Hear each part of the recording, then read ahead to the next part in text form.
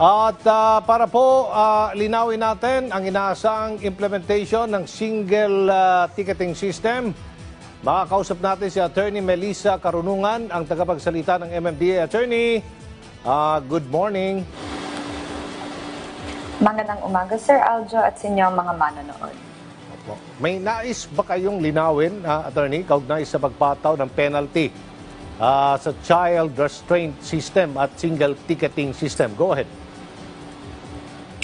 Yes, sir, lanawan ko lang. Ang sakop po ng Metro Manila Traffic Code o yung single ticketing system ay ang top 20 most common traffic violations ng 17 LGUs at traffic enforcement agencies sa Metro Manila.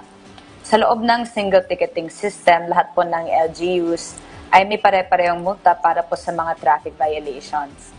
Linagay rin sa Metro Manila Traffic Code ang mga polisiya na nasa batas na po kagaya po ng failure to use o use of substandard child restraint system.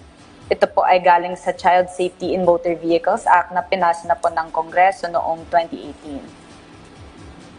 Para sa hindi nakakaalam, ano ang sakop ng single ticketing system?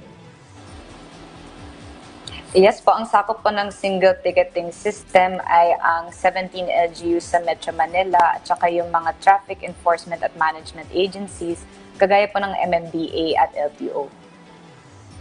Nasa magkano ang fine? Opo, para sa hindi paggamit ng child restraint system. Sa ngayon po, sinuspende muna ang pagpapatupad ng Child Safety in Motor Vehicles Act. Ngunit sa ilalim po ng batas na ito, ang multa para sa mga naglabag ay 1,000 para po sa unang offense, 2,000 para sa pangalawang offense, at 5,000 para sa ikatlong at succeeding offenses. Yung bang child restraint system, ah, kasama ba rito yung PUVs, ah, like taxi at yung Grab? According to the law po, pinag-aaralan pa po ng Department of Transportation ang applicability po ng Child Safety in Motor Vehicles Act sa mga PUVs. Opo. Ah, kailan ah, itong target na ma-implement ang ah, single ah, single ticketing system? Ah, ano ang pag ang pinag ang paghahandang ah, ginagawa ng MMDA? Ganon din ang Metro Manila Mayor sa implementation nito. Inaasahan po na ipatupad ang single ticketing system sa Metro Manila sa April 2023. Ang LDO, MMDA at bawat LGU ay, ay may mga individual na responsibilidad at commitments para bigay buhay po ang single ting- ticketing system. Napagkasunduan na kailangan amendyahan ang mga kasalukuyang ordinansa ng bawat LGU. Ang timeline po na napagkasunduan nila ay hanggang March 15.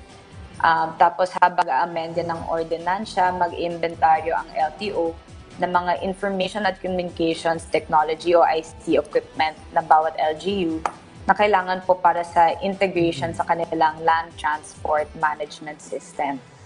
At as stated by our Chairman Attorney Artes, ang magprocure at gagastos po para sa mga ICT equipment ay ang MMDA. May tanong si Ivan Mayrina ng GMA News Attorney. Kasunod ng mapaminsalang lindol sa Turkiye at Syria at sa patuloy nating paganda para sa The Big One. Ano ang mga hakbang na ginagawa ng MMDA tungkol sa pagsiguro ng structural integrity ng mga gusali sa Metro Manila at papaano makakatulong ang pag-amyenda sa National Building Code sa layuning ito? Yes, sir. Ang pagkakatulad po sa Turkey or Turkey at Metro Manila ay madami rin ang mga gusali po dito at high density po ang population sa Metro Manila.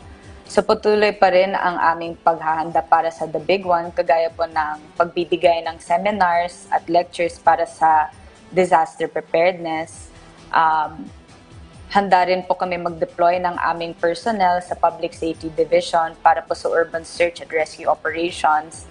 Um, pero po sa uh, amendments ng National Building Code, yun na po ay nasa sakop ng Department of Public Works at Highways. Pero um, we agree po na strict im- implementation ng National Building Code ay importante po sa preventing or lessening ang mga building collapse po. May tanong si Michael Delizo ng ABS-CBN. Ah, gaano kahanda ang mga gusali sa Metro Manila sa Lindol? Ilan ang mga kailangan ng ah, retrofitting? Maaari ba kayo magbigay ng halimbawa? Yes, sir. So, ang nagpapatupad ng National Building Code kung saan nakalagay po ang mga requirements para sa mga gusali at ang kanilang maintenance at designation rin po ng building officials ay ang Department of Public Works at Highways.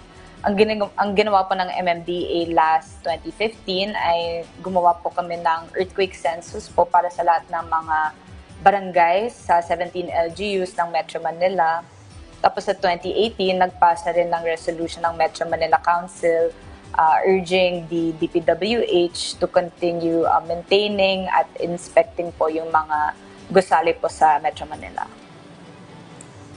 Opo. May mga nakitaan ba kayong paglabag sa building code? Ano ang mga karaniwang paglabag? Ah, yes, sir. According to the National Building Code na nasa jurisdiction po ng DPWH, sila po nag ensure na ang mga gusali ay structure, structurally safe at nag inspection po ang mga ah, representatives ng LGUs sa kanilang jurisdiction po. Opo. Ah, mula pa rin kay Michael Deliso, ano ang mangyayari sa mga gusali na may paglabag? Yes, sir. So according po sa National Building Code, pag nakita po ng building official na ruinous o dangerous po ang mga gusali, uh, they can order for its repair o demolition, depende po sa circumstance ng gusali. May penal provisions rin na, nakas- na nakalagay po sa National Building Code. Gaano kadalas maaring asahan ang pagsasagawa ng earthquake drills? Para po sa Metro Manila, ang shake drill po ay ginagawa taon-taon. Tapos para po sa National Disaster Risk Reduction at Management Council, ang earthquake drill naman po ay ginagawa quarterly. Sa datos ng MMDA, nasa ah, 64% ng building ay naitayo noon pang 1992. Ano ang plano ng MMDA dito? Yes, sir. Tulad po ng Turkey or Turkey, na marami rin ang gusali po ah, sa Metro Manila at marami po ay luma. Um, ito ay isa sa pinag-aralan noong ginawa po ang Oplan Metro Yacal Plus bilang bahagi ng programa ng MMDA sa Disaster Preparedness at Management. Nagbibigay po kami ng disaster management skills training sa mga MMDA personnel namin, volunteers, barangay officials, uh, government personnel, students, at private company employees rin po. Napag-usapan sa hearing ah, sa Senado na magtatayo po ng earthquake resistance sa Pampanga ng DPWH na magsisilbing action center sa Kalitumamang malakas na lindol ah, dito sa Metro Manila. Meron ba kayong mga natukoy ng mga areas na maaari magsilbing evacuation area dito sa Metro Manila?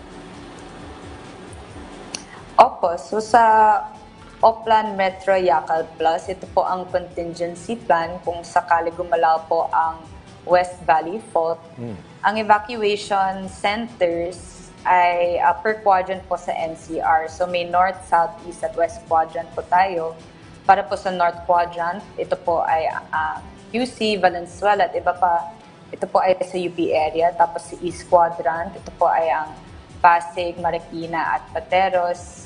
Ito ay nasa East Ultra o sa FCOS, Manggahan Floodgate.